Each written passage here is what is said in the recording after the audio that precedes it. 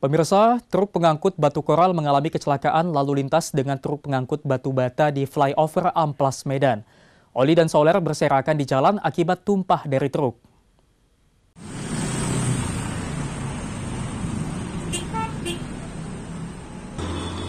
Diduga mengalami kebocoran di bagian rem atau blong saat unit mobil truk pengangkut batu koral menabrak pulau jalan dan tiang listrik.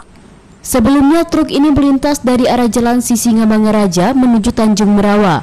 Tiba-tiba truk pengangkut batu koral ini menabrak truk pengangkut batu bata yang ada di depannya. Dikarenakan remblong, truk terus melaju dan menyerang truk di depannya hingga menabrak tiang listrik dan berhenti usai naik ke pulau jalan. Juanda karena truk menceritakan, tiba-tiba truk yang ditumpanginya ditabrak dari belakang hingga mengakibatkan supirnya terjepit. Akibatnya oli dan solar yang tumpah dari truk ini berserakan di jalan dan mengakibatkan jalan macet. Posisi macet pak. Ah, Posisi macet kami berhenti. Depan kami ada motor juga. Cuman awal belum di atas bak.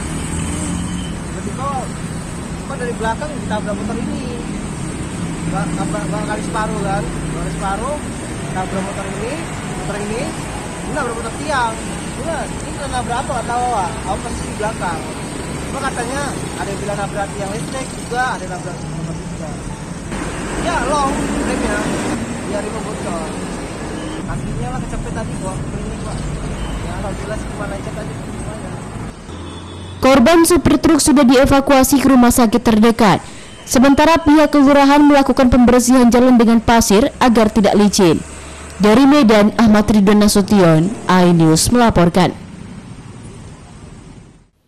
Pemirsa, informasi tadi mengakhiri seputar Ainus Sumut hari ini. Saya Emir Purba beserta seluruh kru yang bertugas mengucapkan terima kasih atas perhatian Anda. Selamat menjalankan aktivitas pagi ini, tetap semangat, sampai jumpa. Wassalamualaikum.